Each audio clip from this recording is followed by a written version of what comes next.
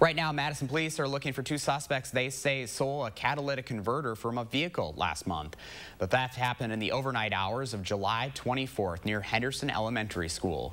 Officials released three pictures, one of the suspects in the car and the others are zoomed in, looking at each suspect. Anyone with information is asked to call Madison Police or Madison Area Crime Stoppers.